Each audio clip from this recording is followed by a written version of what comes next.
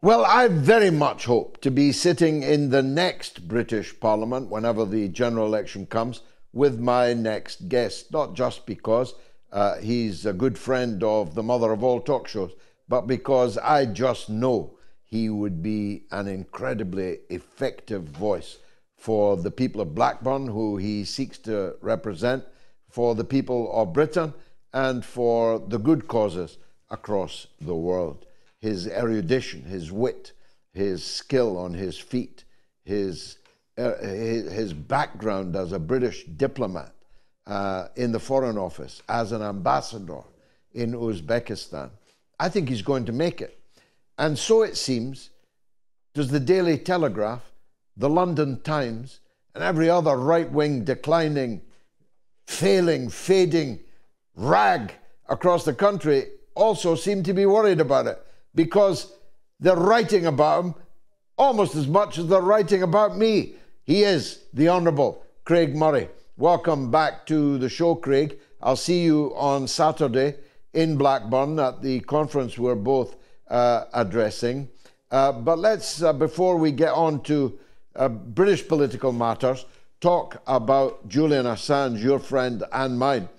Uh, how seriously are you taking uh, the mumbled words of, uh, of the doltish US uh, president in the Rose Garden this afternoon.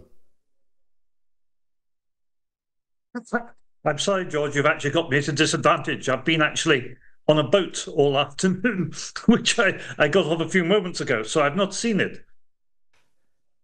Well, it's a most splendid uh, way to uh, avoid uh, watching Joe Biden. I wish I'd been on a boat this afternoon.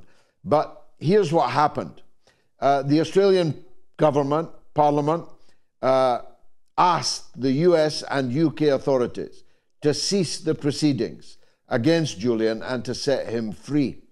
So um, Joe Biden was walking uh, along the Rose Garden path uh, when one of the journalists in the press corps shouted, What's your response to the Australian uh, appeal uh, to drop the charges against Julian Assange.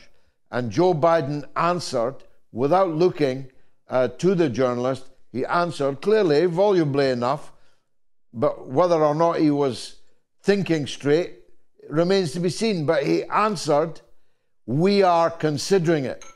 So the British news is leading with US considering dropping the charges against Julian Assange.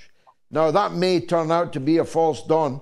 On the other hand, it may be one of those days where you have to remember that you were on a boat, quite oblivious to the news that our friend was about to be freed. That would be amazing.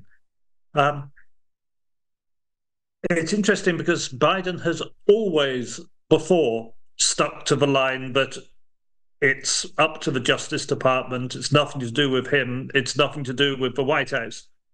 And um, he seems to have that line quite off pat. That seems to have been his remembered response uh, to anything to do with Julian Assange. So that that is a very significant change. Um, I know we we all know that Biden's no longer fully on top of his mental faculties, so you can't always take anything spontaneous from him as being any more than fumbling for for a response. But I think that's so different from what's come out of him before um, that it it must have meaning, and uh, it it really is very interesting.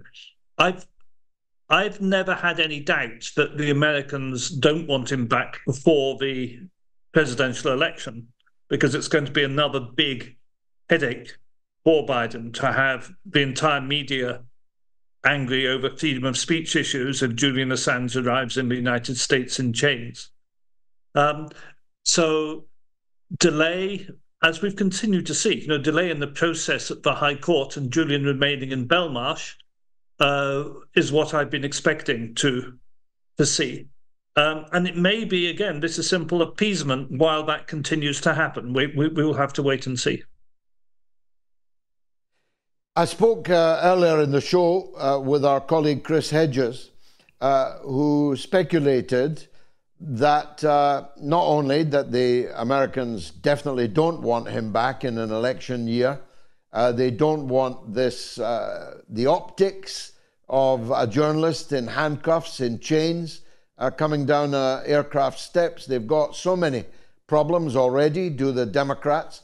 But that Uh, it may be that these assurances that the High Court asked the U.S. for were deliberately asked on the basis that the US cannot and will not accept them, will not give those assurances. If that were to come to pass, Julian gets leave to appeal, presumably remaining in the bowels of Belmarsh.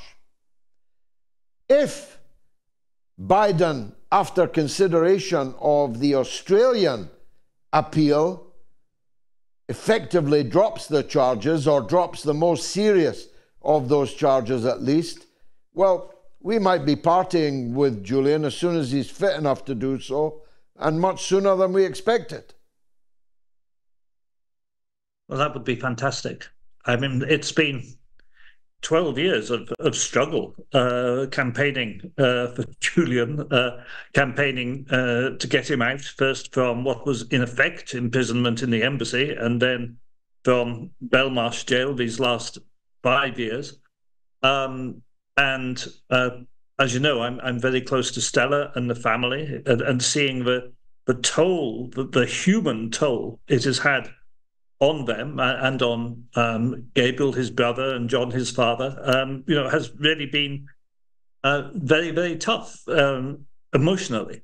Um, so the the notion of him being re- reunited with his family uh, would be simply amazing. But I'm not going to get um, too hopeful um, immediately on, on a few words out of the mouth of, of Biden because there just has been no previous indication. And there's been nothing from the Justice Department so far to indicate any easing up uh, from the American side. So this this is entirely new, if true, but uh, but we have to be a bit cautious and wait to see what comes. Now, uh, talking a few words, you've been allowed very few words uh, from some of the media that are growing increasingly interested in your parliamentary bid to come and sit beside me in the House of Commons. Uh, when we're over the target, we experience the flack, of course. but were you surprised at the uh, interest of the of the national broadsheet uh, media in your imminent candidature in Blackburn? It, it, it, it's extraordinary. I'm, I'm, I'm very happy to say that I think the vast, vast majority of the good people of Blackburn have got far too much sense to pay to read the Times or the Telegraph anyway. So I, I, um, I, don't think it's actually going to reach any of them. But in fact, I was quite flattered by the Times article. The Times article quoted a number of things uh, that I had said, uh, which obviously they expected their readers to be horrified by, but they are things I'm quite proud and happy, I said, in which I stand by today. You know, I said that what happened on the 7th of October was a reaction to 75 years of vicious oppression of the Palestinians by the Israeli state. Uh, and I said that for a single day, the boot had been on the other foot. Um, now, those those statements are simply simply true. I, I, I stand by them. I don't condone random violence against civilians by anyone, but all occupied nations, in, in the all occupied peoples, in the, the history of their armed resistance against their occupiers, um, uh, always end up, you know, in acts of of armed resistance, and that's what we saw on the seventh of October. And the the idea that the you know the Times thinks it was horrified people that I I, I state such a plain truth, I think is is quite amusing. Well, the good news is that Rupert Murdoch is uh, turning in record losses. I don't know if you caught up with the News Corp uh, latest uh, figures. Uh, the Sun has lost 54 million pounds in one single year, and their uh, um, Talk TV outfit, uh, having come off the air gone on to the internet uh, is now sacking some of their biggest names and biggest paychecks. Uh, the, the one and only Vanessa Feltz was fired today after her show because they can no longer afford her £800,000 a year salary for a show routinely attracting between 10 and 12,000 viewers. Uh, so the Times might not be with us for very much longer, at least not under its present ownership.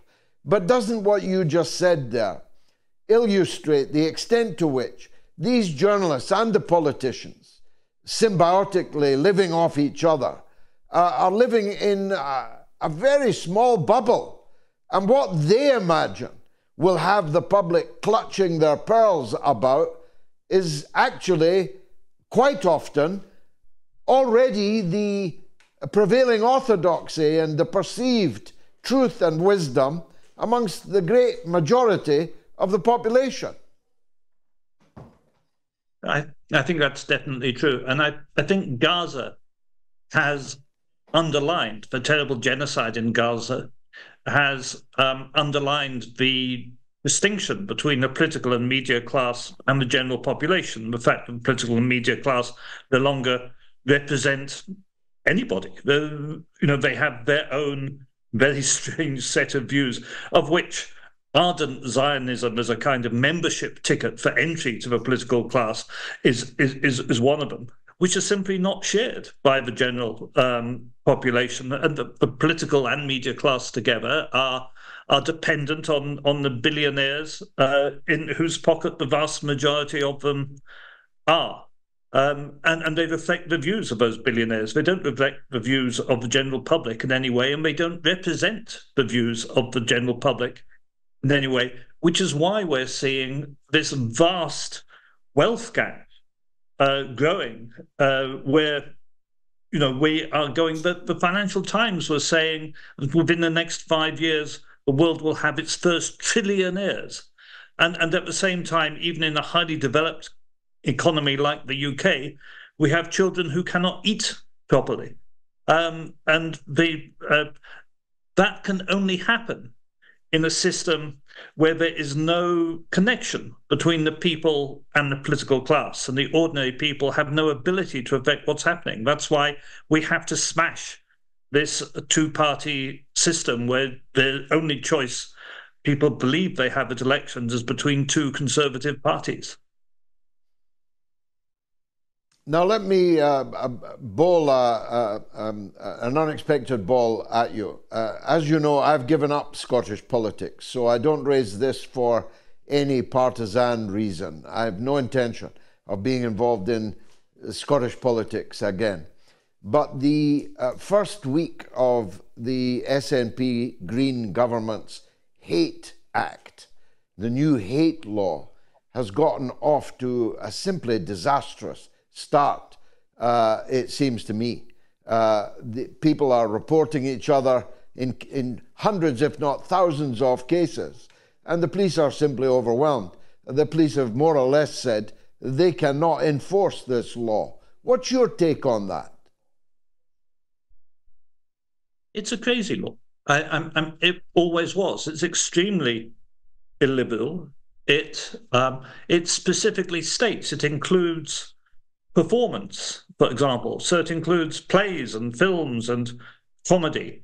Uh, it includes the act of communicating uh, hate speech from one person to another person, which could include, for example, if you were to um, give somebody um, a piece of music uh, which contains words that would be defined as hate speech, which would probably include a great many rap songs, for example, would, would probably fall foul of this law. Uh, the act of giving the music as a Christmas present or whatever uh, would be a crime. And then you have a fact that under Scottish law, anything that can be seen on the internet and read on the internet in Scotland, if read on the internet in Scotland, is deemed to be published in Scotland. So it covers all communications worldwide which are seen in Scotland. Um, so it's no surprise that the police had 8,000 reports in one in one week. It, it, it's a dreadful piece of legislation, which is totally illiberal um, and, and, and really does, I'm afraid to say, uh, reflect the, this dreadful sort of nanny state attitude on, on, on the part of the government in Scotland. Well, uh, I'm actually in Scotland right now. I'm speaking to you in foreign parts on a quayside. Uh, I've got my wood burning stove on and I'm speaking freely to you, uh, whether the SNP government likes it or not. So let's hope I don't get the knock on the door. Craig, I'll see you on Saturday, God willing. Go safely. I know you had a little accident. Uh, tell us, uh, how's your shoulder, your arm? Um, progressing less well than I would like. I'm, I'm seeing the surgeon again on on Friday, but it looks like it's going to be uh, another week or two. There's a huge amount of soft tissue damage. They've got the bones together again, but uh, it's it's all taking some time to heal. Well, we wish you all the best. Hope to see you at the weekend. Craig Murray, Honourable Craig Murray, former British ambassador, prospective parliamentary candidate for the Workers' Party of Britain in the great parliamentary constituency of Blackburn. Thanks for joining us.